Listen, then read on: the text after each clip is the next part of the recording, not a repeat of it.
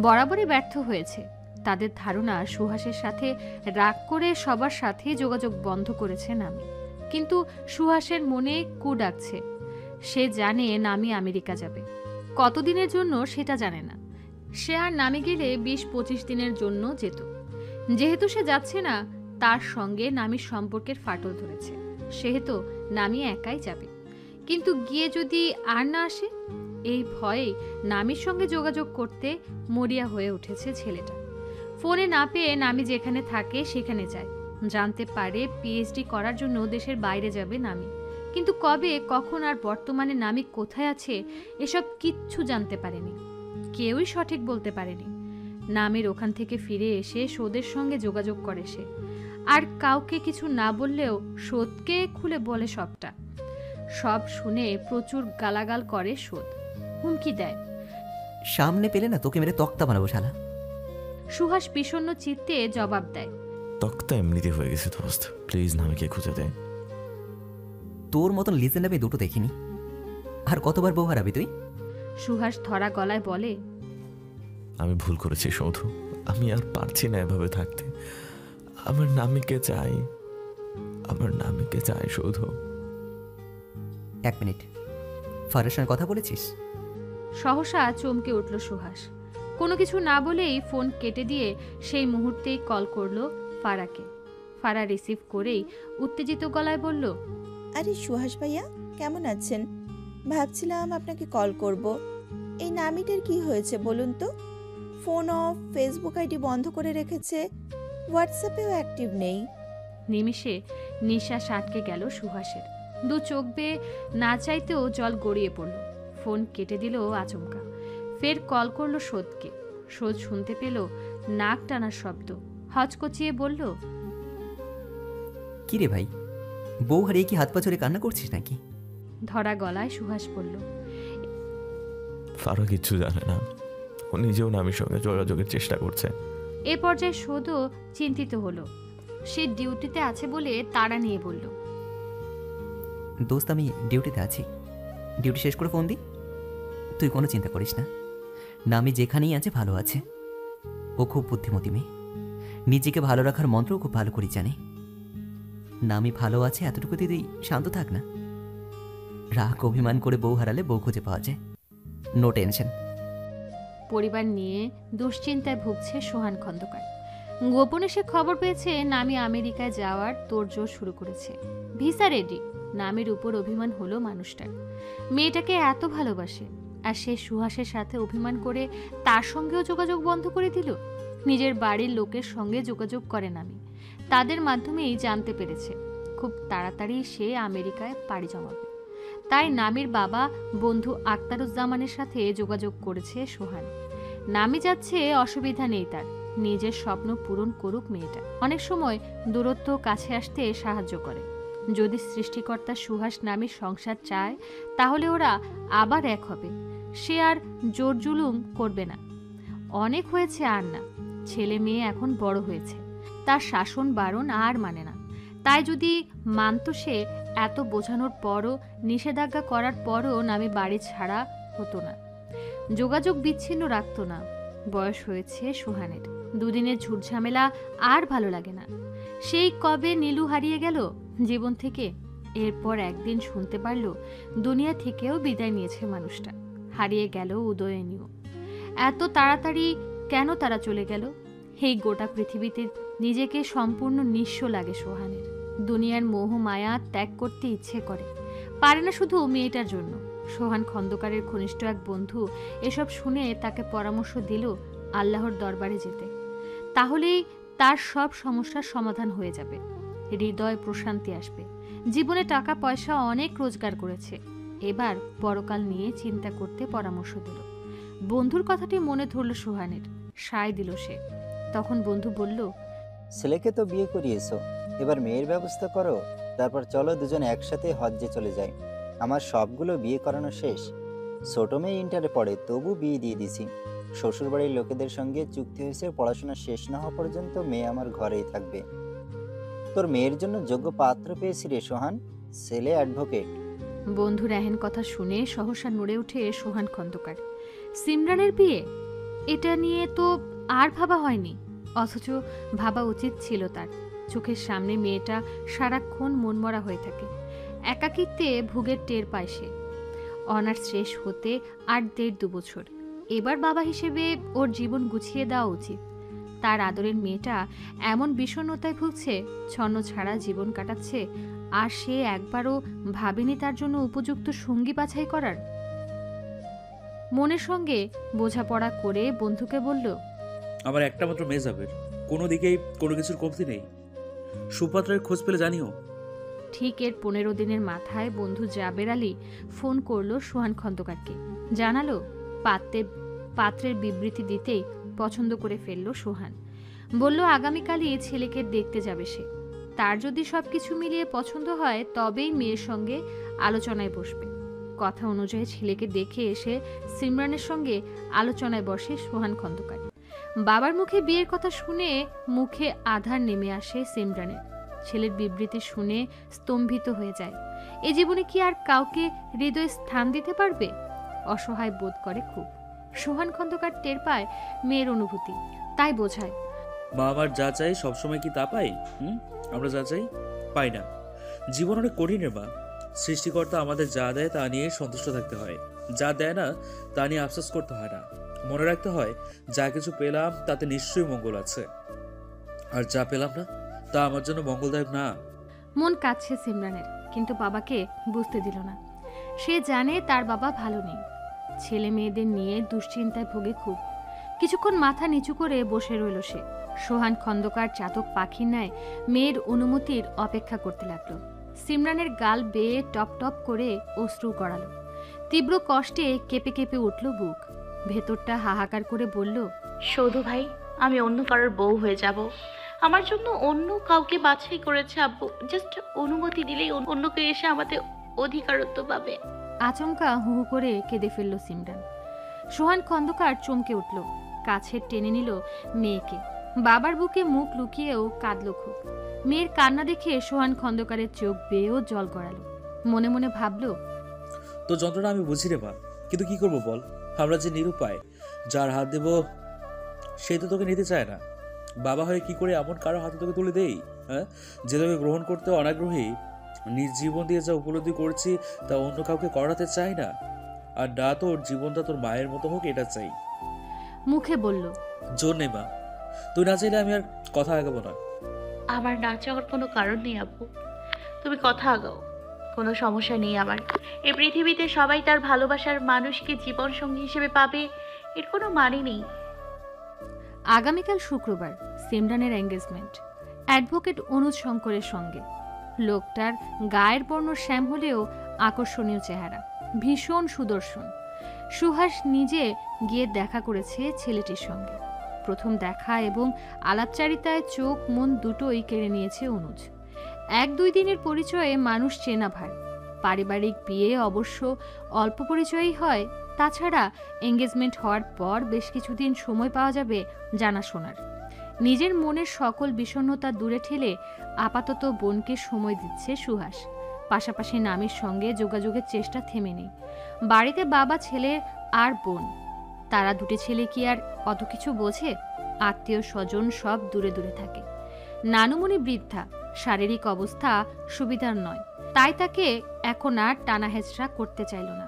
বিয়ে ঠিক হোক। একেবারে বিয়ের সময় সবাই আসবে না। আবার ভাবলো কালকের মতো দিনে সিমরানের পাশে একজন মেয়ে থাকা জরুরি। নামিকে মনে পড়ল খুব, মেয়েটা বড্ড পাষাণ। এমন পাষাণীকে কোনো দুঃখে বিয়ে করল সে? পরক্ষণেই মনে পড়ল। কোন দুঃখে আবার, বাবার হুমকি নামক দুঃখে। অনেক ভেবে চিনতে সিদ্ধান্ত নিল আয়াজ আর ফারাকে খবর দেবে। ওরা দুজন ছুটি কাটাতে বাড়ি আছে কিছুদিন। এই মুহূর্তে ওরা ছাড়া বড় কোনো শুভাকাঙ্ক্ষী নেই তার। ভেবে বন্ধুকে ফোন করে নিজের অবস্থা জানায়। সব শুনে আয়াজ, ফারা আর দেরি করেনি চলে এসেছে।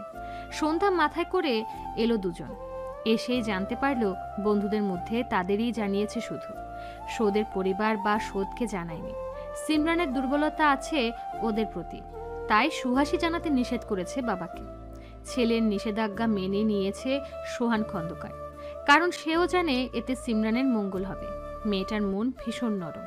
ও বাড়ির সদস্যরা সামনে থাকলে নিজেকে যতটুকু শক্ত করেছিল, সেটুকু ভেঙে পড়বে নিষ্ঠুরভাবে। একবার বাগদানটা হয়ে যাক। অনুজের সঙ্গে আলাপ হোক, ভালো লাগার জায়গা তৈরি হোক। এরপর না হয় বিয়েতে নিমন্ত্রণ জানাবে চৌধুরী বাড়ির সবাইকে। ড্রয়িং রুমে বসে সবাই অনুজ সরকারের ফটো দেখছে। প্রথম দর্শনেই সবার পছন্দ হয়ে যায়। প্রশংসায় পঞ্চমুখ হয়ে ওঠে সকলে। সিমরানের এসব ভালো লাগছে না। মনে হচ্ছে বাড়াবাড়ি করছে সবাই। যেন বাচ্চা মেয়ে সে। মার্কেটে গিয়ে একটা ড্রেস পছন্দ করেছিল, সেটা কিনে না দিয়ে অন্যটা কিনে দিয়েছে।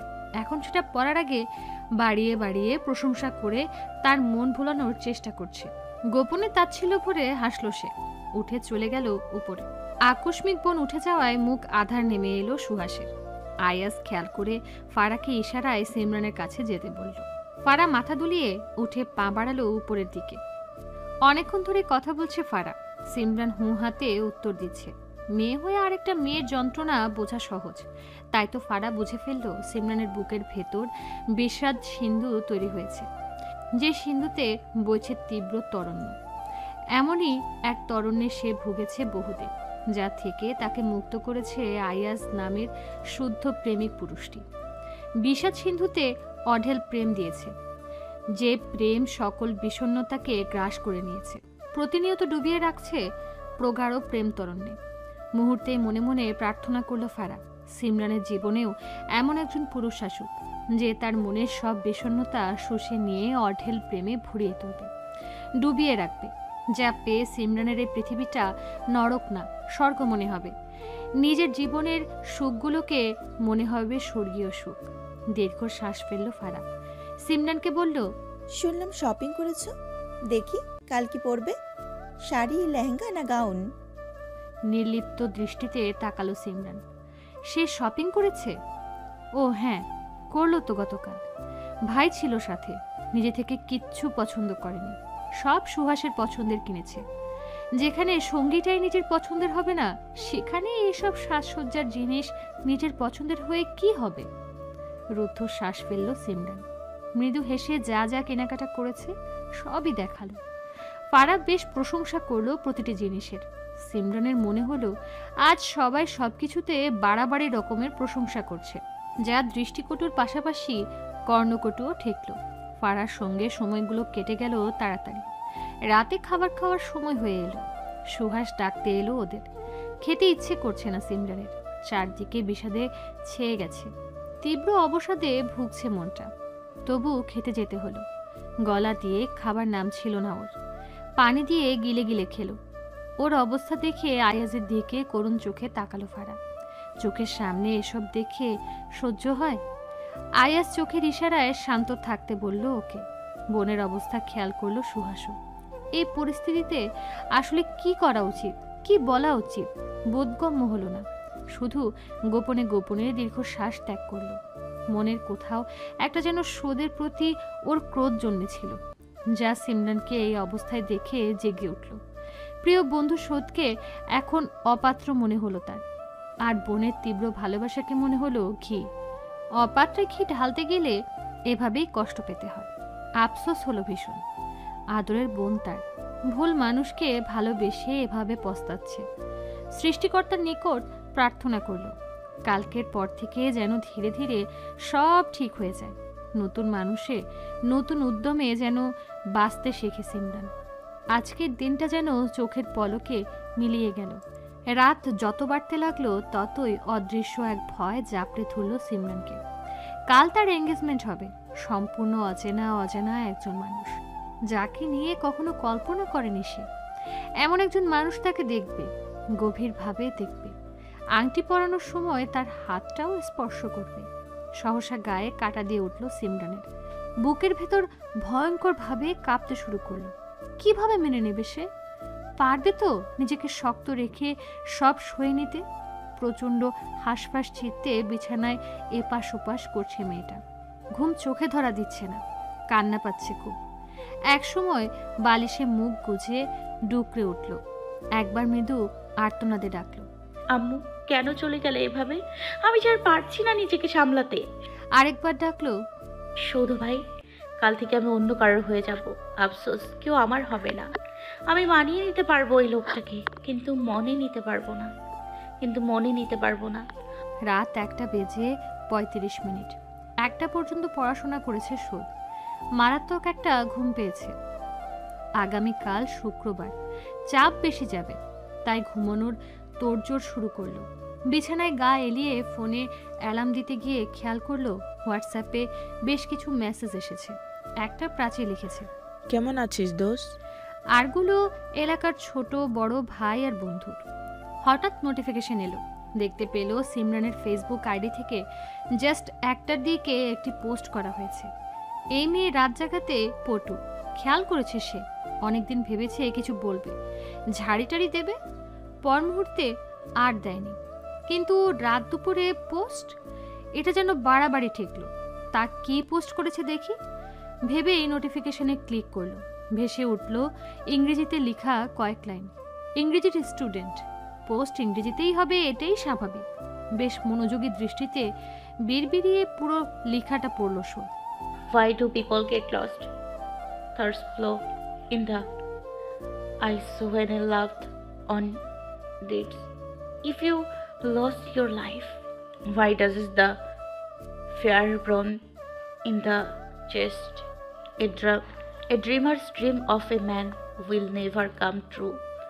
The end of the dreamer's dream. ইংরেজিতে পোস্টটি পড়ে নিমিষে চোখ বুজে ফেলল সুদ সিমরানের ইংরেজি পোস্টের বাংলা হলো মানুষ কেন হারিয়ে যায় ভালোবাসার মানুষ মরে হারালে চোখে অশ্রু ঝরে জীবন্ত হারালে বুকের ভেতর আগুন জ্বলে কেন স্বপ্নচারিণী স্বপ্ন পুরুষ কখনো সত্যি হবে না। স্বপ্নচারিণী স্বপ্নের সমাপ্তি। বাংলা অর্থ বুঝতেই বুক ধক করে ওঠে সোদের। ঘুম ছুটে যায় নিমিষে। মুখ হয়ে ওঠে গম্ভীর। অধর কামড়ে বিচলিত চিত্তে হোয়াটসঅ্যাপে গিয়ে সিমরানের নাম্বারে মেসেজ পাঠায়। ঘটনা কি বলতেছেন? তোর কি ইংরেজি সাহিত্য হতে ইচ্ছে করছে? ও হ্যাঁ তুই তো ইংরেজি সাহিত্য নিয়ে পড়ছিস। তা মাইকেল মধুসূদনের জীবন কাহিনী জানিস? মেসেজটা দিল সিন হলো। অথচ উত্তর নেই। শুয়ে থাকা ভারিক্ষী দেহটি আচমকা উঠে বসল। সিনু তার মেসেজ সেন্ড করল আর রিপ্লাই দিল না। আশ্চর্য। চোখ মুখ কুচকে গেল সৌদের তড়িৎ আঙ্গুল চালিয়ে ফের টেক্সট দিল। এখনও ঘুমোসনি কেন? আবারও সিন হলো। সোদ তড়িৎ লিখল। রিপ্লাই কর। সোদের মেসেজ পেয়ে ধাতস্থ হতে সময় লাগল সিমরানের। মধ্যরাতে সোদ ভাইয়ের মেসেজ অপ্রত্যাশিত ছিল। আবারও কান্না পেয়ে গেল মেয়েটার। কাঁদতে কাঁদতে কি উত্তর দেবে বুঝতে পারল না। মন মস্তিষ্ক সবটাই বিধ্বস্ত। শেষে রিপ্লাই করো মেসেজটি দেখে চমকে উঠল। এটা ধমক ছিল? বুঝতে পারল সে। তাই তীব্র অভিমান বুকে চেপে উত্তর দিল। আজ দুপুরে আমার এঙ্গেজমেন্ট শোধ ভাই। সেই খুশিতে ঘুমোতে পারছি না। কেমন আছো তুমি? সিমরানের ফোনে চার্জ শেষের পথে ছিল। সারা দিন এত দুশ্চিন্তা মানসিক অশান্তিতে ভুগছে সে যে ফোন চার্জ দিতেও খেয়াল নেই। সব কিছু থেকে এমনিভাবে মন উঠে গেছে তার। তাই এইটুকু রিপ্লাই দেওয়ার পরপরই ফোনটা বন্ধ হয়ে গেল। আচমকা ফোন বন্ধ হওয়াতে একটুও বিচলিত হয় না সিমরান। বিড়বিড় করে আফসোসে সুরে বলল এই ফোনটাও চায় না তোমার সাথে আমার কথা হোক। দীর্ঘশ্বাস ফেলল সিমরান। সহসা তীব্র ক্রোধে ফুসতে ফুসতে ফোনটা নিয়ে চার্জ দেওয়ার পরিবর্তে বন্ধ অবস্থাতেই ড্রেসিং টেবিলের ড্রয়ারে ফেলে রাখল। কিচ্ছু দরকার নেই তার, কিচ্ছু না। বিছানায় ফিরে এলো আবার, ধপাস করে শুয়ে বালিশে মুখ গুজে হু হু করে কাঁদতে লাগল। সারা রাত কেঁদে কেটেই শেষ করে দিল। ঘুমোলো না একটুও। সকালের দিকে একটু চোখ লেগেছিল বটে। কিন্তু তা কি আর দেহ মনের ক্লান্তি দূর করতে পারে? আজ সিমরানের সব দায়িত্ব ফারার উপর পড়েছে। ফারা অনেক বুঝিয়ে সকালে একটু খাইয়ে দিয়েছিল। এরপর আর খাওয়াতে পারেনি। এখন সময় হয়ে এসেছে। অনেক বলে বলে গোসলে পাঠিয়েছে মেয়েটাকে। ততক্ষণে সে সব কিছু বুঝিয়ে রাখল। সিমরান বেরিয়ে আসতেই একটু হাফ ছেড়ে বাঁচল ফারা। এতক্ষণ কি ভয়ঙ্কর লাগছিল মেয়েটা। মুখের বর্ণ পুরোপুরি লাল ছিল। চোখ দুটো এখনও ফোলা। সারা রাত কি পরিমাণ কান্নাকাটি করেছে, তার প্রমাণ ফুলো ফুলো চোখেই দেখতে পাচ্ছে ফারা। চুলগুলো মুছে হেয়ার ড্রায়ার দিয়ে পুরোপুরি শুকিয়ে ফেলল সিমরান। ফারা ওকে ড্রেসিং টেবিলের সামনে বসতে বলেই একবার শান্ত চোখে তাকালো। পরক্ষণে স্মিত হেসে এগিয়ে গিয়ে বসল চুপচাপ। ফারা মৃদু হেসে কাঁধে হাত রাখল। বলল, আগে চুল বাঁধি, তারপর মুখ সাজাই, কি বলো? শেষে লেহেঙ্গা পরো এতে গরম কম লাগবে। এসির পাওয়ার কি আর একটু কমাবো? না ঠিক আছে। তোমার যেমন খুশি তেমনই সাজাও নো প্রবলেম নির্লিপ্ত স্বর সিমরানেরও ফারা মৃদু হেসে একে একে সাজাতে শুরু করল। ধীরে ধীরে বিষণ্ন মুখের সিমরান হয়ে উঠল বিষাদ রাজ্যের রাজকুমারী। যার সব আছে সব। নেই শুধু মুখে হাসি চোখে আনন্দের ঝিলিক। সাজ সম্পূর্ণ হওয়ার পর পুরোপুরি তৈরি হয়ে নিল সিমরান। ফারা যেন ওর দিক থেকে চোখই ফেরাতে পারল না। অবাক গলায় বলল কি কিউট লাগছে। তুমি কিন্তু মারাত্মক সুন্দরী সিনো। এক পেশে হাসল সিমরান। মনে মনে বলল এই সৌন্দর্য এক সময় আমার অহংকার ছিল কিন্তু আজ মূল্যহীন। মৃদু পায় ড্রেসিং টেবিলের খুব কাছাকাছি গিয়ে দাঁড়াল সে। আয়নায় দেখতে পেল আপাত মস্তক সুসজ্জিত নিজেকে। তার শুভ্র ত্বকে লাইট পিঙ্ক কালার লেহেঙ্গাটি দারুণ মানিয়েছে। লেহেঙ্গার সাথে মিলিয়ে ব্রাইডাল জুয়েলারিগুলো ভীষণ সুন্দর। গলায় একটি নেকলেস পরেছে হীরের, যা ইন্ডিয়া থেকে তার বাবা এনেছিল তার জন্য। আলতো স্পর্শ করল নেকলেসটায় মনে মনে কিঞ্চিত হাসল, তার বাবা ভাইয়ের পছন্দ আছে বলতে হয়। এরপর তাকালো নিজের পানে মুগ্ধ দৃষ্টিতে তাকিয়ে থাকা ফারা আপুর দিকে। আপু এত সুন্দর সাজাতে পারে জানা ছিল না। সে বরাবরই ব্রাইডাল সাজতে, সে বরাবরই ব্রাইডাল সাজতে পছন্দ করে। যদিও সোদের পছন্দকে গুরুত্ব দিতে গিয়ে ইদানিং ব্রাইডাল সাজত না, তবে আজ নিজেকে সম্পূর্ণ ব্রাইডাল লুকে দেখে পছন্দ হলো ঠিক। কিন্তু মনের ভেতর দানা বেঁধে রইল, একটাই, এই সাজ কাঙ্ক্ষিত মানুষটির জন্য নয়। মুহূর্তেই বুকের ভেতরটা ডুকরে উঠল। কান্না উপচে এলো গলা পর্যন্ত। সেই মুহূর্তেই দরজায় টোকা পড়ল সুহাসের। আইভারা অনুজরা এসে পড়েছে। তাড়াতাড়ি দরজা খোল। সহসা বাক্যে শিউরে উঠল সিমরান। সমস্ত শরীর থরথর করে কাঁপতে শুরু করল তার। নিজের ভারসাম্য ধরে রাখতে তীব্র কষ্ট অনুভব করল। চারিদিকে ঝকঝকে আলো তবু যেন কি গভীর অন্ধকারে ডুবতে শুরু করল সে। তবে কি সবাই মিলে এক আধার থেকে অন্য আধারে নিক্ষেপ করছে তাকে? পাশাপাশি বসে অনুজ সিমরান। সিমরানের মস্তক নত। বড়রা কথা বলছে, আংটি বদল হয়ে গেলেই একসঙ্গে খেতে বসবে সবাই। বর্তমান যুগের স্মার্ট কোনো মেয়ে এত লাজুক হয় নাকি? অনুজের ভারী কি জ্ঞানে প্রশ্নটি বারবার উকি দিতে লাগল। এর আগে দুবার কথা হয়েছে সিমরানের সাথে। তখনও টের পেয়েছিল সিমরান বেশ লজ্জা পাচ্ছে। তার সঙ্গে কথা বলতে জড়তা কাজ করে মেয়েটার। সে যা প্রশ্ন করত তাই উত্তর দিত। নিজে থেকে একটি প্রশ্ন করত না। আজ সামনাসামনি দেখা হলো কিন্তু কথা বলল সে একাই। সিমরান মুখে হুহা উত্তর দিয়েছে আর মাথা নাড়িয়ে। এর বাইরে একটি কথাও বলেনি। ভেতরে ভেতরে এটা নিয়ে কিঞ্চিত অস্বস্তি অনুভব করছিল অনুজ। তার মা বিষয়টা খেয়াল করে জিজ্ঞেস করল কোনো সমস্যা? অনুজ মাথা নাড়ালো। কোনো সমস্যা নেই দুপক্ষের আলাপচারিতা শেষ হলো। অনুজ অনুমতি পেল সিমরানকে আংটি পরিয়ে দেওয়ার জন্য। ফারা এসে বসল সিমরানের অপর পাশে। মেয়েটার বুক কম্পন হচ্ছিল বহুক্ষণ ধরে। সে কম্পন এবার শরীরে শুরু হয়েছে। দূর থেকে খেয়াল করেই চলে এসেছে ফারা। অনুজ খুব সুন্দর একটি হীরের আংটি, বৃদ্ধা এবং তর্জনী আঙ্গুল দিয়ে ধরে সিমরানের সামনে নিয়ে এলো। এ সময় আয়াজ বলল, অনুজ ভাই, দাঁড়িয়ে পড়ুন। সিনু, উঠে দাঁড়া। আয়াজের হাতে ক্যামেরা। অনুজের চোখ দুটোয় দীপ্তি ফুটে উঠল। উঠে দাঁড়াল সে। ফারা ফিস ফিস করে উঠতে বলল সিমরানকে। সিমরান উঠল না। তার মাঝে কোনো প্রতিক্রিয়াও দেখা গেল না। যেন এ জগতে সে নেই। ঢোক গিলল ফারা। কি হচ্ছে এসব? সিমরান কেন বুঝতে পারছে না? এটা কোনো সিনেমার অংশ নয়। এটা বাস্তব জীবন। আজ এই মুহূর্তে একটু ভুলচুক হয়ে গেলে দুপক্ষেরই বিব্রত হতে হবে, পড়তে হবে তীব্র লজ্জায়। সব শেষে অসম্মানিত হতে হবে আঙ্কেল আর সুহাস ভাইকে। অনেক বলে ধাক্কাধাক্কি করে অবশেষে ওঠানো হলো সিমরানকে। যা খেয়াল করে অনুজের মুখে আধার নেমে এলো। তবে কি এই বাগদানে সিমরানের মত নেই? যা হচ্ছে পারিবারিক চাপে পড়ে? শ্বাস রোধ হয়ে এলো অনুজের। বিয়ে ব্যাপারটা তার কাছে খুব ইম্পর্ট্যান্ট তার বউ হতে এলে আলাদা উৎসাহ নিয়ে হতে হবে। তার প্রতি তীব্র আগ্রহী থাকতে হবে মেয়েকে। এসব না হলে, না থাকলে বিয়ে করার প্রশ্নই ওঠে না। সে কোনো ফেলনা পুরুষ নয়। সিমরান নিঃসন্দেহে সুন্দরী নারী। ছবিতে প্রথম দেখেই আকৃষ্ট হয়েছে সে। বাস্তবে দেখে সেই আগ্রহ গাঢ় হয়েছে। কিন্তু সিমরান, সে তো তার প্রতি আকৃষ্ট হয়নি। আকর্ষণ দূরে থাক। এক বিন্দু আগ্রহীও নয়। জীবনের কাঙ্ক্ষিত একটি মুহূর্তে এসে অনুজ যেন ভেঙে পড়ল। মা, বাবা, ভাইরা তাকে উৎসাহ দিচ্ছে আংটি পরাতে। নিমেষে ভাবনা ফুরালো। মন বলল, সে যা ভাবছে এমন কিছু নয়। তাই হলে এত সুন্দর করে সে যে তৈরি হয়ে সামনে আসতো না সিমরান। আজকালকার মেয়েরা এত বোকা নয়। বুকটা হালকা হলো এবার। মৃদু হেসে বাঁ হাতে সিমরানের বাঁ হাতটায় প্রগাঢ়ভাবে স্পর্শ করল। অনুভব করল একটুখানি কেঁপে উঠেছে সিমরান। যা অবিরত চলতেই থাকল।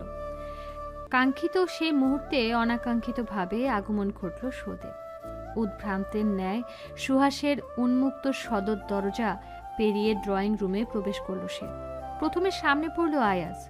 যে ক্যামেরা তাক করে আছে অনুজা সিমরানের দিকে। সোদ অবিশ্বাস্য, থমকানো দৃষ্টিতে একবার আয়াজ আরেকবার সিমরানের দিকে তাকালো। এরপর আচমকা আয়াজের থেকে থাবা মেরে ক্যামেরা নিয়ে ছুঁড়ে ফেলল ফ্লোরে। বিধ্বস্ত মুখ, উস্কো খুস্কো চুল কপালে ছড়িয়ে ছিটিয়ে। পরনে স্ত্রীবিহীন কালো শার্ট দুহাতের হাতায় গোচানো বুকের কাজটায় দুটো বোতাম খোলা। ফর্সা বুকে কালো লোমগুলো উকি দিচ্ছে স্পষ্ট। সূক্ষ্ম দৃষ্টিতে খেয়াল করে দেখা গেল ওর পরনে প্যান্ট নয়, ট্রাউজার। সোদ চট্টগ্রাম ছিল। গতকাল সকালেও কথা হয়েছে আয়াজের সাথে। তাহলে আচমকা সোদের আগমন কি করে? তাও কিনা এই রূপে? যে রূপে সোদের বেডরুম ব্যতীত নিজের বাড়ির ড্রয়িং রুমেও দেখেনি কখনো। সেই রূপে দেখে আয়াজ ওপাশে থাকা সুভাষ ফারা সুহান খন্দকার প্রত্যেকেই হতবম্ব উপস্থিত প্রত্যেকে ধাতস্থ হতে সময় নিল। শোধ হঠাৎ এসে এমন বিশৃঙ্খলা করেছে কেন? ও তো এমন ছেলে নয়। নিমেষে সবার কর্ণকুহলে পৌঁছালো আয়াজের কলার ধরে বলা সৌদের গমগমে কণ্ঠস্বর। ভেবেছিলাম সুহাসী আমার চরম শত্রু হয়ে গেছে। এখন দেখছি তুইও। বলেই কলার ছেড়ে দিল। হাত ছাড়া দিয়ে আশেপাশে তাকিয়ে দেখল সকলের স্তম্ভিত মুখ। কেবল একজনই নির্লিপ্ত। আচমকা চোখ বুজে নিজের মাথা ঠান্ডা করার চেষ্টা করল শোধ নিমেষে আবার চোখ খুলল। সুভাষ খন্দকার ততক্ষণে এগিয়ে এসেছে। কিছু বলতে উদ্যত হতেই সে দীর্ণ গলায় বলল আমি খুব দুঃখিত অঙ্কেল আমি নিরুপায়। থেমে গেল সুহান খন্দকার। সোদ চোখ ফিরিয়ে নিল। ধীর পায়ে এগিয়ে গেল অনুজ সিমরানের দিকে। নিমিষে পথে বাধা হয়ে সুহাস দাঁড়াল। অনুরোধে সুরে বলল কি করছিস এসব? ওদিকে যাচ্ছিস কেন? তোর সাথে তো আমার কথাই চলে না। পথ ছাড়। ক্রোধান্বিত কণ্ঠে বলল সোদ সুহাস আশ্চর্য হয়ে বলল নাটক করবি না? সোদ ওর বুক সই করে ধাক্কা দিয়ে বলল ওটা তোর স্বভাব আমার না। ধাক্কা খেয়ে কিঞ্চিত দূরে সরে গেল সুহাস। চোখের পলকে সিমরানের মুখোমুখি হলো সোদ। ফোঁস করে নিঃশ্বাস ফেলল একবার। এরপর নিজের বলিষ্ঠ ডান হাতটা তুলে সিমরানের স্নিগ্ধ মসৃণ গাল দুটো আলতো চেপে ধরল। ব্যথা যেন না পায় এভাবেই ধরল। অদ্ভুত করে হাসল কিঞ্চিত সে হাসিতে এক টুকরো ব্যথা মিশেছিল কি? জানা নেই। অদ্ভুত সে হাসি হেসে সিমরানের মুখশ্রীতে গাঢ় চোখে তাকাল। দীর্ণ গলায় প্রশ্ন ছুড়ল তোর কি পার্বতী হসাও হয়েছে সকলেই হতবম্ব হয়ে গেল। অনুজ বা খাড়া আর তার পরিবার স্তম্ভিত মুখে সুহান খন্দকারের পানে তাকিয়ে সিমরান নিষ্পলকে সোদকে দেখছে। সত্যি সোদ ভাইয়া এসেছে? এটুকু বিশ্বাস করতে সময় লাগল বেশ। এরপর হুট করে বুকটা মুচড়ে উঠল। পার্বতীকে সে কেন পার্বতী হতে যাবে? এদিকে সোদ উত্তর না পেয়ে একটু বিচলিত হলো না। সে ঘাড় বাঁকিয়ে সিমরানের পাশে দাঁড়িয়ে থাকা ছেলেটির পানে তাকালো। দেখল সিমরানের বা হাত ছেলেটির বা হাতে ধরা। চোয়াল শক্ত হয়ে উঠল এ দৃশ্য দেখে। বড্ড বাড়াবাড়ি হয়ে গেল যেন দৃশ্যটি। ভেবেই সিমরানের দিকে একবার নিজের রক্তিম দৃষ্টি নিক্ষেপ করেই দৃষ্টিটাকে শীতল করে ফের তাকালো অনুজের পানি। অত্যন্ত শান্ত ভঙ্গিমায় হাত বাড়িয়ে সিমরানের হাত থেকে অনুজের হাতটা সন্তপর্ণে ছাড়িয়ে নিল। এরপর অনুজের ডান হাতের দিকে নিজের ডান হাত এগিয়ে ধরে জোরপূর্বক হ্যান্ডশেক করতে করতে বলল হ্যালো আমি Saudha Chowdhury son of MP Suja Chowdhury.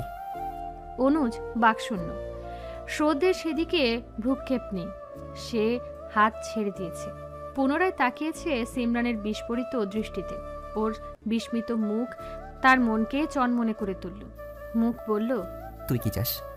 Devdas হতে গিয়ে ফিরে এসে আমি আবার দেবদাস হয়ে যাই? একটু থামল উপস্থিত সকলের দিকে একবার নজর বুলিয়ে বলল যদি না চাস তাহলে চুপচাপ এসে আমার পাশে দাঁড়াবি। ভয় নেই। লজ্জিত হওয়ার কোনো কারণ নেই। আর না আছে কোনো কিছু নিয়ে চিন্তা হবার। লাইফে অনেক সিনেমা দেখেছিস। মনে কর আজ এই বাড়িতে তোর আর আমার জীবন্ত একটা সিনেমা হচ্ছে যা ইতিহাসের পাতায় যুগের পর যুগ লিখিতভাবে বেঁচে থাকবে। কমন সিনু চোখের পলকে ভবিষ্যৎ বদলে গেল। মনের বাইরে চলা পরিকল্পনাগুলো হেরে গেল মনের ভিতরে চলা পরিকল্পনার কাছে। যারা মনের বাইরে পরিকল্পনা করেছিল, তারা জানে না। ভেতরের পরিকল্পনাকারীর চিন্তা শক্তির প্রখরতা। জানে না তার বিচার বিশ্লেষণ আর পাঁচজন থেকে সম্পূর্ণ আলাদা। খুবই শান্ত একটি পরিবেশ চোখের পলকে অশান্ত হয়ে উঠেছিল। সারা জীবন শৃঙ্খলা মেনে চলা ছেলেটি বহু বছরের ভালোবাসা হারিয়ে উচ্ছৃঙ্খল হয়ে উঠেছিল প্রথম। এরপর দীর্ঘ একটি সময় কেটে যায়। নিজেকে পুরোপুরি ধাতস্থ করে ফেলার আগেই দ্বিতীয়বার এলোমেলো হয়ে যায় মানুষটা। ফলাফল দুটো পরিবারকে বিবৃতিকর পরিস্থিতিতে পড়তে হয়। সেই পরিস্থিতিও তীক্ষ্ণ বুদ্ধিমত্তার সাথে সামলে নেয়। একজন চৌকস রাজনীতিবিদ। স্বদেশ শ্রদ্ধেহ পিতা সুজা চৌধুরী। গতরাতে সিমরানের শেষ মেসেজটা পড়েই স্তব্ধ হয়ে যায় শোধ তার আড়ালে এত কিছু হয়ে গেল? অথচ সুহাস একটি বারও তাকে জানানোর প্রয়োজন বোধ করল না। বন্ধুত্বের জায়গা থেকে তীব্র অভিমান হয়। পরক্ষণেই হিসেব করে মেলায় সুহাসেরও তার প্রতি চাপা অভিমান আছে। সেই অভিমান কি নিয়ে? টের পেতেই শিউরে ওঠে। মানুষের জীবনে অনাকাঙ্ক্ষিত ঘটনা ঘটেই থাকে। যাদের জীবনে অনাকাঙ্ক্ষিত ঘটনা নেই, তারা জীবনের ভিন্ন এক স্বাদ থেকে বঞ্চিত হয়। শোধ বঞ্চিত হয়নি। সে পেয়েছে জীবনের ভিন্ন স্বাদ। সে দেখেছে প্রকৃতির অদল বদল স্বয়ং সৃষ্টিকর্তাই তো এই অদল বদল ঘটায়। গভীর রাতে ফাঁকা ঘরটায় দেহ জুড়ে হঠাৎই অদ্ভুত রকমের অশান্তি শুরু হয় শোধে। এতকাল যে চিন্তা, চেতনা বুকের গভীরে লুকায়িত ছিল, ক্রমশ তার উন্মোচন করতে থাকে। নিজেকে স্থির রেখে আর বিছানায় বসে থাকতে পারে না। সেদিনের দেখা সিমরানের অসহায় মুখশ্রী, অশ্রুতে টলমল দৃষ্টিজোড়া, মনে পড়ে আচমকা। কতগুলো মাস ধরে এই আচমকা মনে পড়ার রোগে হয়েছে তার। সে প্রাপ্তবয়স্ক এক যুবক, ভগ্ন হৃদয়ে অধিকারী। যে হৃদয় কেউ নির্মমভাবে ভেঙে দেয়, সে হৃদয় কি আবারও নাড়াচাড়া করে? সে তো ভেবেছিল, এই তো শেষ। এখানেই জীবনের সমাপ্তি।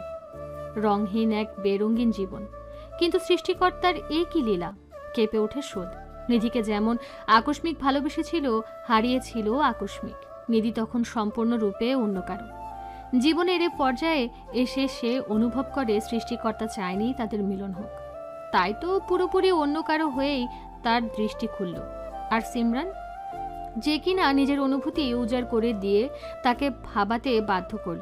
হ্যাঁ ভেবেছে শোধ। সিমরানকে নিয়ে ভেবেছে সে। যে ভাবনাতে প্রেম নেই, ভালোবাসা নেই, আছে শুধু অন্যরকম শান্ত, স্নিগ্ধ এক অনুভূতি। দুটো নারী। দুজনের থেকে সম্পূর্ণ আলাদা। দেহ আলাদা, দেখতে আলাদা, হৃদয় সেটিও ভিন্ন।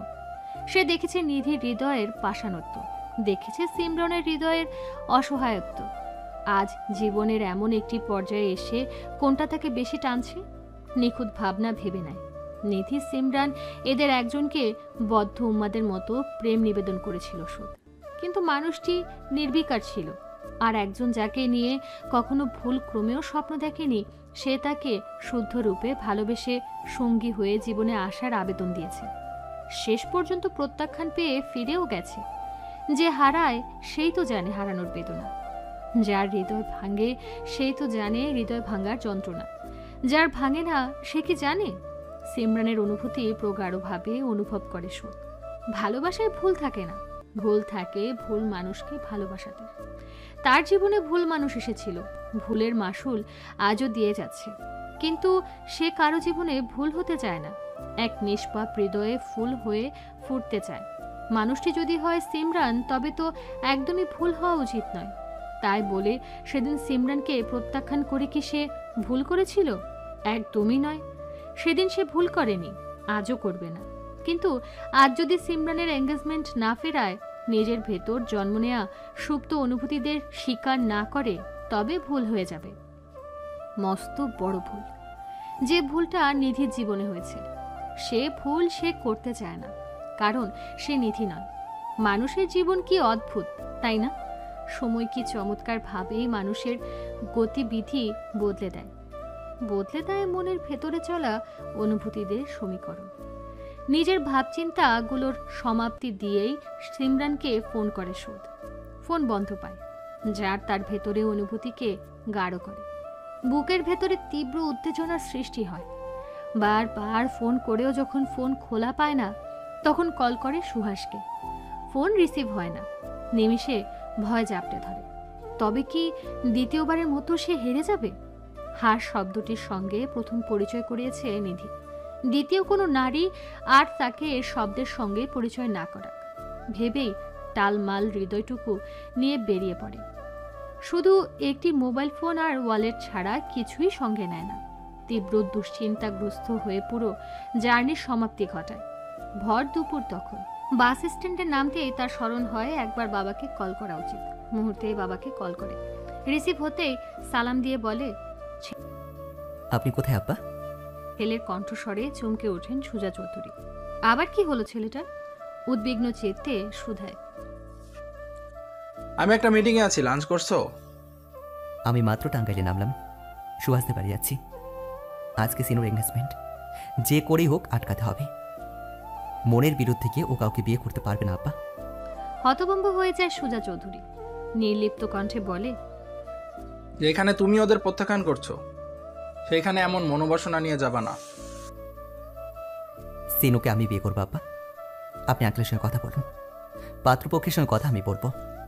তুমি ভেবেচিন্তে বলছো তো সৌধ? তোমার এই সিদ্ধান্ত কতটুকু শক্ত? তীব্র আত্মবিশ্বাসী কণ্ঠে শোধ যতটুকু শক্ত থাকলে আমাকে আর কেউ ভাঙতে পারবে না। প্রধান দপ্তরে নোটিশ দেওয়ায় শোধের কাজ সহজ হয়ে গেল। যে বিশৃঙ্খলা সৃষ্টি হয়েছিল তা এখন শান্ত। প্রকট এক ঝড় বয়ে যাওয়ার পর প্রকৃতি যেমন শান্ত, শীতলতায় রূপ নেয়।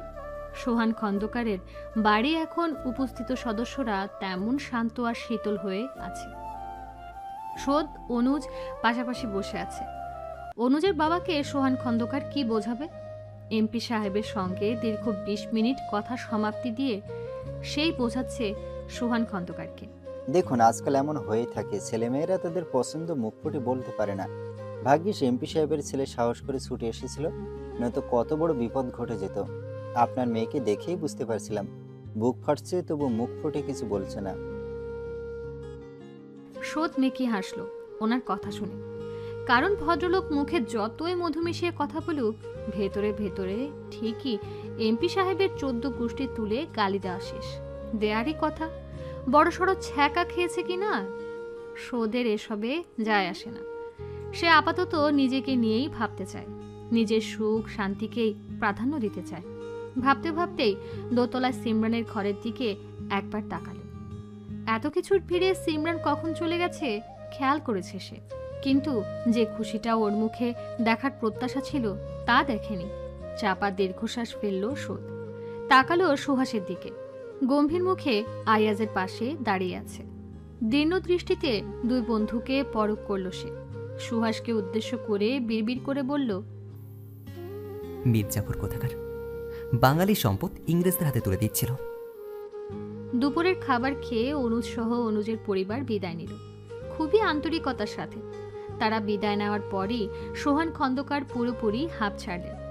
একজন বাবার কাছে মেয়ের সুখের চেয়ে বড় কোনো প্রাপ্তি থাকতে পারে না। তাই তো সৌদের আকস্মিক আগমনে প্রথমে হচকচালেও এখন তার বুকে প্রশান্তির অনুভূতি হচ্ছে। কারণ মেয়েটাকে যে আর বুকে পাথর চেপে কিছু মেনে নিতে হবে না। অনেকক্ষণ সময় পেরিয়ে গেছে। তিন বন্ধুর কেউই কারও সাথে কথা বলেনি। অতিথি বিদায় নিলে সুহাসী প্রথম মুখ খুলল। তেড়ে এসে সোদের বুক বরাবর মৃদু ঘুষি দিয়ে বলল মাতলাবি করবি না শুধু। যা করেছিস খুব খারাপ করেছিস। সুহাসের রাগান্বিত মুখে তাকিয়ে ফিসেল হাসল সোদ। খুব যত্ন সহকারেই এড়িয়ে গেল বন্ধুকে। সম্মুখীন হলো হবু শ্বশুর মশাইয়ের দীর্ণ গলায় বলল আসি আঙ্কল। আব্বার সঙ্গে তো কথা হয়েছি। বাকি কথাও না হয় পারিবারিকভাবে সেরে নেবেন। আমি ভীষণ টায়ার্ড বাড়ি গিয়ে আমাকে রেস্ট করতে হবে। সোহান খন্দকার এতদিন এই ছেলেকে দেখে শুধু অবাকই হয়েছে। কিন্তু আজ ঝড়ের মতো উড়ে এসে কি শান্ত ভঙ্গিমায় সমস্তটা সামলে নিয়ে বিদায় নিল। চোখের সামনে এমন অমায়িক ঘটনা এবং ঘটনার কেন্দ্রে থাকা মানুষটিকে দেখে মুগ্ধ হলো। তার অনুমতি নিয়ে সুহাস আয়াসকে সম্পূর্ণ অগ্রাহ্য করে বেরিয়ে গেল সোদ না, বন্ধু, আর না, সিমরান। আপাতত কারোর সাথেই কথা বলার প্রয়োজন মনে করল না। ক্লান্ত দেহে বাড়িতে পৌঁছালো সোদ ড্রয়িং রুমে গিজগিজ মানুষ দেখতে পেল। অমনি তার মস্তিষ্ক সজাগ হলো। তার বিয়ের ঘণ্টা বাজিয়ে দিয়েছে আব্বা। প্রথম সে চোখে পড়ল তার আম্মার। তানজিম চৌধুরী ছেলেকে দেখে খুশিতে গদগদ হয়ে এগিয়ে এলেন। সৌদের ঘুমাত্ম কপালে চুমুক খেতে একটুও দ্বিধা করলেন না। সন্তপর্ণে স্নেহময় একটি চুমুক খেয়ে ছেলেকে জড়িয়ে ধরলেন। সৌদও মায়ের আলিঙ্গন উপভোগ করে শান্ত কণ্ঠে বললেন, মাথা ধরেছে আম্মা। জাস্ট ঘরে যাব। শাওয়ার নেব অ্যান্ড এরপর লম্বা একটা ঘুম। ছেলের অবস্থা বুঝতে পারলেন তানজিম চৌধুরী। সদ উপস্থিত সদস্যদের মধ্যে শুধু দাদুনিকে সালাম দিয়ে শুধালো কেমন আছেন? দাদুনি অদ্ভুত সুরে উত্তর দিল সোদ সেসবে খেয়াল না দিয়ে নিজের অবস্থা জানিয়ে নিজের ঘরের উদ্দেশ্যে পা বাড়াতেই শুনতে পেল দাদুনির বলা কিছু কথা। সুহাসের বোনকে আমার পছন্দ না, জানোই তো বৌমা। তোমরা যদি ওরেই বউ করবার ঠিক করে থাকো সদ্য যদি নিজের ইচ্ছাকেই প্রাধান্য দেয় তাহলে ওই মেয়েকে শিখাই পড়ায় নিও। অত ছটর ফটর কথা বলা যাবে না। চলন বলনও পরিবর্তন আনতে হবে। ধেই ধেই করে পুরো বাড়ি নাচ যাওয়াও যাবে না। সিঁড়ির দুধাপ উঠতেই রেলিং ধরে থেমে গেল সো ঘাড় বাঁকিয়ে ভ্রু কুচকে বলল দাদুনি সুহাসের বোন বোবা না। আর তোমার প্রাণপ্রিয় নাতি কোনো বোবা বা খোড়া মেয়েকে বউ করে আনছে না? অল্প বয়সী মেয়ে। যখন তখন মুখও চলবে, পা দুটোও চলবে। তোমার বয়সে হলে এমনিতেই সব ঠিক হয়ে যাবে। নো প্রবলেম আকস্মিক কথায় দাদুনির চোখ কপালে উঠে গেল। সোজ সেদিকে ভ্রুক্ষেপ না করে চলে গেল নিজের ঘরে। গোধূলি বিকেল। দু কাপ চা বানালো ফারা। সুহাসের ঘরের বেলকুনিতে আয়াজ সুহাস বসে আছে নিশ্চুপ। চায়ের কাপ দুটো নিয়ে সেখানে উপস্থিত হলো সে। ভীষণ মাথা ধরেছে সুহাসের। আয়াজের মুখটা এখনও হতভম্ব। চোখের পলকে কত কিছু ঘটে গেল। সে নীরব দর্শক হয়েও দোষের ভাগিদার কেবলমাত্র বন্ধু সৌদের চোখে। ফারা চা নিয়ে এসেছে দেখে মৃদু হেসে চা নিল। সুহাসকে নিতে ইশারা করলে সুহাস চিন্তিত মুখে তাকিয়ে প্রশ্ন করল সিনু কি করছে? কিছু বলেছে ও? ফারা চা এগিয়ে দিল। সুহাস কাপটা হাতে নিয়ে চুমুক দিল ধীরস্থির ভাবে। ফারা বসল আয়াজের পাশে। বিনয় সুরে বলল, পোশাক পাল্টে সাজ ধুয়ে চোখ বুজে চুপচাপ শুয়েছে। ঘুমিয়েছে কিনা বুঝতে পারছি না। আমার মনে হয় ওর একটু সময় দরকার। যা কিছু ঘটে গেল, এর জন্য আমরা কেউ প্রস্তুত ছিলাম না ঠিকই। কিন্তু সিনু এতে একটু অখুশি হয়নি। কারণ ওর চোখে মুখে গতকাল থেকে যে বেদনার সুর ভাসছিল সেটা এখন আর নেই। ফোঁস করে নিঃশ্বাস ছাড়ল সুহাস। আয়াসকে বলল সৌদকে ফোন করো তো। আয়াস চোখের চশমা ঠিক করতে করতে বলল সরি দোস্ত আমি ফোন করতে পারব না তুই কর। ভ্রু কুচকে ফেলল সুহাস। চাপা ক্রোধ প্রকাশে বলল আমি করব মানে? ও আমার কথা শুনবে? কোনো কোয়েশ্চেন করলে আনসার দেবে? রাগ দেখাবে আর জেদ দেখাবে? আর কিছু বড় লোকই গালি ছুড়বে? তোর কি মনে হয়?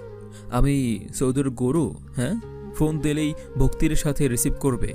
কোনো প্রশ্ন করলে গড়গড় করে উত্তর দেবে। আয়াজও চটে গেল। ওদের দুজনকে থামালো ফারা। আয়াজের দিকে তাকিয়ে দীর্ণস্বরে বলল উফ চুপ করবে? নিজেদের মধ্যে ঝামেলা পাকাচ্ছ কেন? ঠান্ডা মাথায় আলোচনা করো সব। এরপর সুহাসের দিকে তাকিয়ে বলল সুহাস ভাইয়া আমার মনে হয় সৌধু ভাই হুঠার ডিসিশন নেওয়ার মানুষ নন।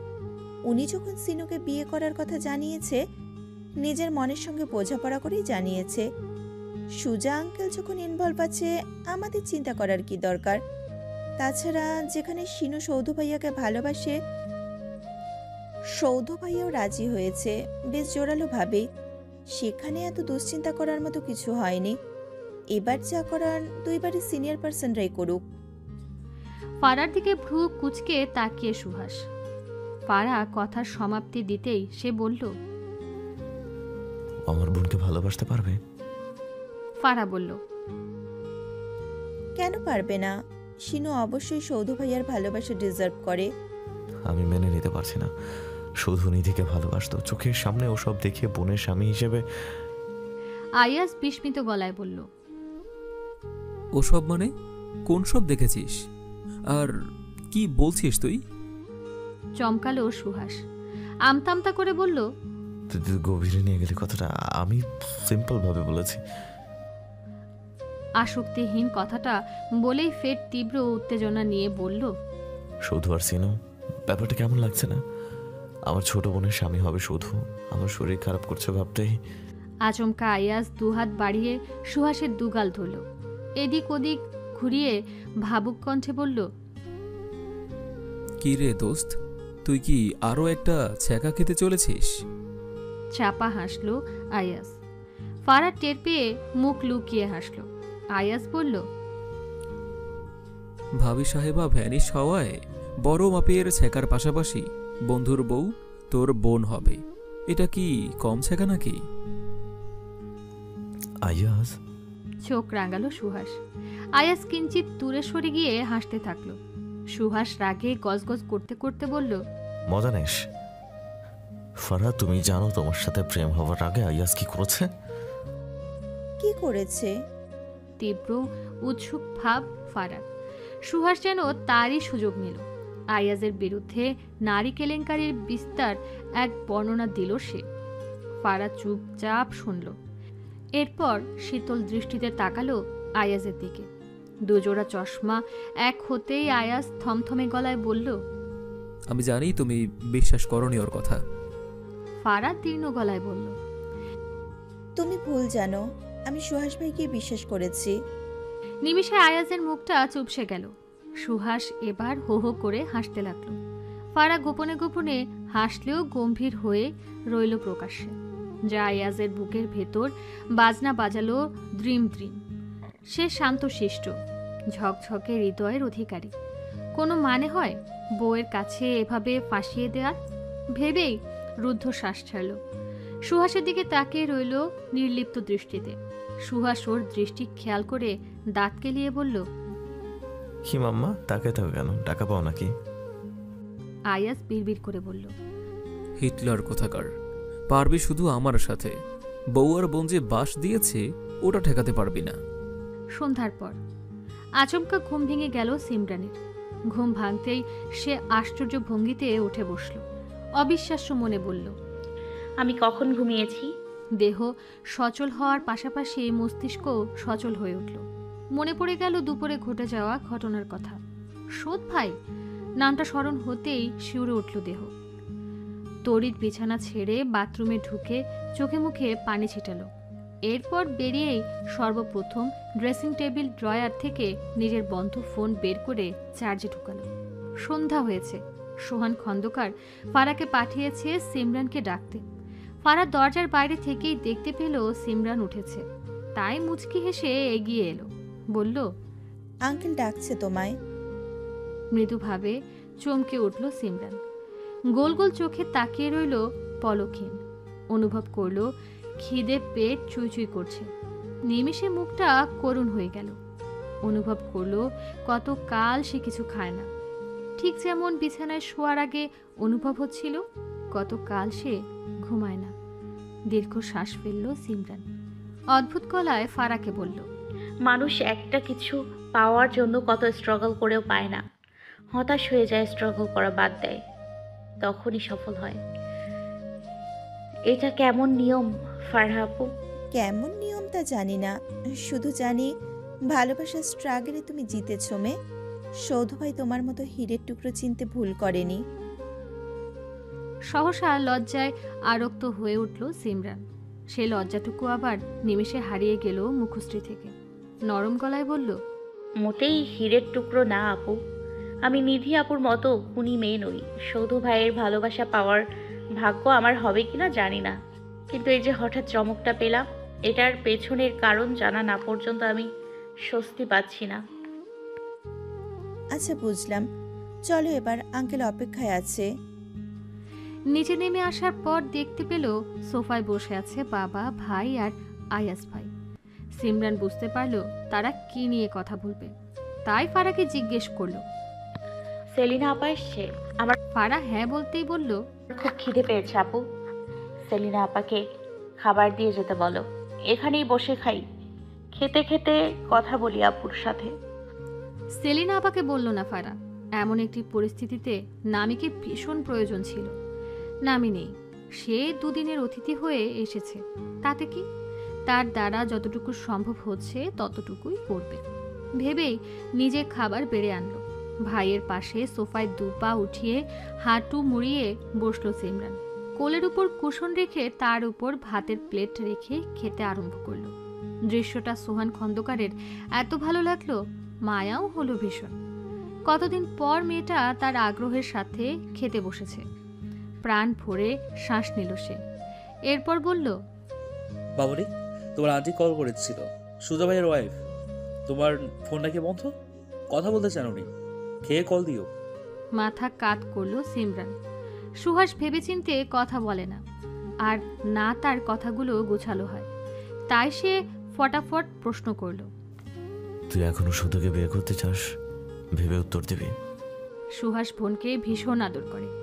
অন্যান্য ভাই বোনের মতো তারা সব সময় তুই তুকারি করে না। বেশিরভাগ তুমি করেই বলে। কেবল রেগে বা সিরিয়াস মুহূর্তে তুই বলে। অর্থাৎ সুহাস এখন মনে হয় রেগে আছে নয়তো সিরিয়াস আছে। টের পেল সিমরান সোহান খন্দকার বলল আহা এ আবার কেমন প্রশ্ন সুভাষ? উত্তরটা কি তুমি জানো না? সিমরান ভাইয়ের থেকে চোখ ফিরিয়ে খেতে খেতেই বাবার দিকে তাকালো শান্ত দৃষ্টি। সোহান খন্দকারও মেয়ের মনোভাব বোঝার চেষ্টা করল আবার।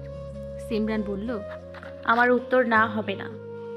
পারিবারিকভাবে তোমরা কথা আগাও। আমি সৌধ ভাইয়ের সঙ্গে বাকি কথা পার্সোনালি বলে নিব। বিস্মিত দৃষ্টিতে তাকিয়ে রইল সুহাস। তার বোনকে বড় বড় লাগছে। এই যে কথাগুলো বলল, মনে হলো কত জ্ঞানী একটা মেয়ে। অথচ বোন তার ছোট। কত ছোট? অনার্স তৃতীয় বর্ষের স্টুডেন্ট। বয়স পায়েস চলছে। সে এমন উত্তর দিতেই পারে। কিন্তু সুহাস মেনে নিতে হিমশিম খেল। পরক্ষণেই ভাবল, বোন আসলে বড় হচ্ছে। ধীরে ধীরে আরও হবে। এটাই প্রকৃতির নিয়ম, যা তাকে মেনে নিতেই হবে। কিন্তু শোধকে কীভাবে মানবে?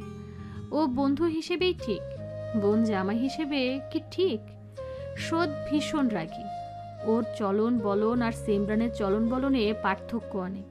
সহজ কথায় দুজন ঠিক মুদ্রার এপিট ওপিট মনের গভীর ভাবনাগুলো প্রকাশ করল, সুহাস বলল শুধুর সঙ্গে তুই মানিয়ে নিতে পারবি না, সিনো। ও আর তুই সম্পূর্ণ আলাদা। তোদের ভাবনা চিন্তা চলাফেরা সব আলাদা। ও অনেক ম্যাচিওর্ড তুই ওর পর্যায়ে ম্যাচিওর না। ভয়টা আমার এখানেই। তোদের দুজনের মিলবে না। নানা রকমের সমস্যার সৃষ্টি হবে।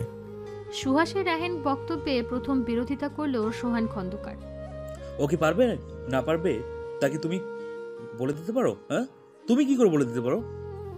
ও আমার বোন আর সৌধু আমার বন্ধু। আমি দুজন সম্পর্কে জানি বাবা। আমি তোমার সম্পর্কেও জানি। সিনো অন্তত তোমার মতো গর্দব নয়। সহসা চুপ হয়ে গেল সুহাস। তখন আয়াজ ওর কাঁধে হাত রেখে বলল আমি যদি বলি ওরা মুদ্রার এমপি ওপিঠ বলেই ওদের কম্বিনেশন দারুণ হবে যা নিধির সাথে হয়ে উঠত না। সুহাস হঠাৎ রেগে গেল। সিমরানের দিকে তাকিয়ে বলল শুধু নিধিকে ভালোবাসতো। বহু বছর একটা মেয়ের প্রতি ওর দুর্বলতা ছিল ছিল আজ তোর এসব গায়ে লাগছে না। বিয়ের যে লাগবে না তার গ্যারান্টি কি? আমি তোকে কোনোভাবেই কষ্টে দেখতে পারব না। তোর হাজবেন্ড তোকে ভালোবাসায় মুড়িয়ে রাখবে। এটা দেখে আমি শান্তি পেতে চাই। সিমরান চুপচাপ রইল কিছুক্ষণ। তাকালো বাবার দিকে। সোহান খন্দকার ভরসার দৃষ্টি নিক্ষেপ করল। তবু কথাগুলো বলতে লজ্জা পেল সে। না বলে উপায়ও তো নেই। তাই দীর্ঘ শ্বাস ছেড়ে বলল তোমার বন্ধু যখন চট্টগ্রাম থেকে ছুটে এসে তোমার বোনের এঙ্গেজমেন্ট বরবাদ করেছে, তখন বিয়ের পর তোমার বোনকে ভালোবাসতেও পারবে। আর বললে, নিধি আপুর কথা? আমি নিধি আপুর বিষয়ে জানার বহু আগে থেকে সৌধু ভাইকে ভালোবাসি। আমার পছন্দ, আমার ভালোবাসা, আমার সিদ্ধান্ত ঠুকনো নয়। এটার প্রমাণ এতদিন না পেলেও আজ পেয়েছি। যদি অ্যাক্সিডেন্টলি আমি আমার হাজব্যান্ডের ভালোবাসা না পাই, তাহলেও কখনো কষ্ট পাবো না। সারা জীবন তো আমি এটা নিয়েই তার প্রতি কৃতজ্ঞ থাকব। আমাকে আজ জীবিত মৃত হওয়া থেকে উদ্ধার করেছে সে। একদমে কথাগুলো বলে নিঃশ্বাস ছাড়ল সিমরান। সোহান খন্দকার মেয়ের কথা শুনে আপ্লুত চোখে তাকিয়ে রইল। সোহান বলার মতো কিছুই খুঁজে পেল না। আয়াজ মনে মনে বলল পারফেক্ট। সৌদ তো এমন কাউকেই ডিজার্ভ করে। কে বলেছে সৌদ সিনুকে ভালোবাসতে পারবে না? আমি কাগজে কলমে লিখে দিতে পারি। একদিন সৌদ সিনুকে এতটাই ভালোবেসে ফেলবে যে ও নিজের প্রতি নিজেই অবাক হয়ে থাকবে। সিমরানের খাওয়া শেষ হলো ইতিমধ্যেই সোহান খন্দকার সুহাসকে বলল আগামী বাইশ সেপ্টেম্বর সৌধর জন্মদিন। দুদিন ছুটিও আছে শুনলাম। হুট করে এসছে তাই চলে যেতে হবে আগে একুশ তারিখ আসবে আবার। বাইশ তারিখ ওদের এঙ্গেজমেন্ট হবে। এর পরের মাসে বিয়ে। আমাদের সিদ্ধান্ত এটাই। তোমার কিছু বলার আছে? হ্যাঁ? আমার বলার থাকলে শুনছে কে? কপট রাগ দেখিয়ে সুহাস এ কথা বলতেই ব্যাসিনের সামনে দাঁড়িয়ে হাত ধুতে ধুতে সিমরান বলল সুহাস খন্দকারের অনুমতি না পেলে বিয়েই করব না? সুহাস অদ্ভুতভাবে ভেঙচি কাটলো বোনকে। বলল আর ভালোবাসা দেখাতে হবে না। বোন খুশি থাকলে সুহাস খুশি। ঠোঁট টিপে হাসলো সিমরান। সুহাস বোনের থেকে দৃষ্টি ঘুরিয়ে আয়াসকে বলল তোর বন্ধুকে বলে দিস আমার বোনকে খুশি রাখতে হবে সুখী করতে হবে। এর হেরফের হলে দেখে নেব আমি। আয়াস ভ্রু কুচকে বলল সে কি? সৌদ আমার একার বন্ধু? পাড়া খোঁচা দিল আয়াসকে ফিসফিস করে বলল আহ বলুক না তুমি তর্ক দিও না। সোহান খন্দকার প্রশান্তের নিঃশ্বাস ছেড়ে বলল কথা তাহলে ঠিকঠাক সৌধ কাল চলে যাবে। বাকি কথা সেরে ফেলি সুধা ভাইয়ের সাথে। কি বলো সুহাস নিচু কণ্ঠে সুহাস উত্তর দিল ওকে। নটা পর্যন্ত ঘুমিয়ে মাত্র উঠল শোধ। ফোন বাজছে তার স্ক্রিনে তাকাতেই দেখল শিনু।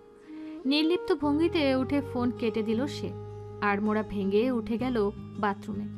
হাত মুখ ধুয়ে খিদে খিদে টের পেল। রুম ছেড়ে বেরোতেই দেখল তার কাজিনরা নিচে মিটিং করছে।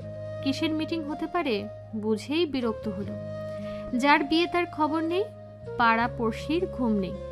তেমন একটা অবস্থা। দূর সম্পর্কের দুজন কাকাতো ভাই আর ফুফাতো ভাই বোন রয়েছে সেখানে। ছোট তাহানিও আছে। সে ধীর পায়ে নিচে নামতেই সবার কণ্ঠ নিচু হলো। মুখে লেপটে রইল মৃদু মৃদু হাসি। দূর সম্পর্কের কাকাতো দুই ভাইয়ের নাম শেখ সাদি। ছোট করে সবাই সাদি বলেই ডাকে। আরেকজনের নাম সালমান। ফুফাতো ভাই শান আর ফুফাতো বোন উর্মিও রয়েছে। সবাই বয়সে ছোট। Sadi honours fourth year Salman first year শানও fourth year শুধু উর্মি ইন্টার সেকেন্ড ইয়ারে সামনে সোদ ভাইয়ের এঙ্গেজমেন্ট এরপর বিয়ে। সেই নিয়েই তাদের উত্তেজনা এবং পরিকল্পনা চলছিল। যা শোধ আসাতে ক্ষান্ত দিল। শোধ তার আম্মাকে ডাকলো। আমা খেতে দিন খেতে পেয়েছে। তাহানি ছুটে গেল বড় মায়ের কাছে। এরপর আম্মা এসে ছেলেকে খেতে দিল। খাওয়া শেষে শোধ ভাই বোনদের সাথে বসল কিছুক্ষণ। সবার পড়াশোনার কেমন চলছে সাদিয়া সালমান রাজনীতিতে যুক্ত। মূলত এজন্যই এ বাড়িতে তাদের আনাগোনা বেশি। চাচা এমপি কিনা?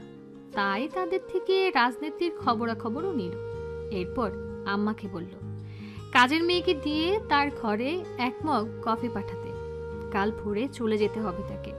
তাই যতটুকু পারা যায় বিশ্রামে থাকবে এখন। নিজের ঘরে এসে কিছুক্ষণ চুপচাপ বসে রইল। কাজের মেয়েটা কফি দিয়ে গেলে কফির মগ হাতে চলে গেল বেলকনিতে।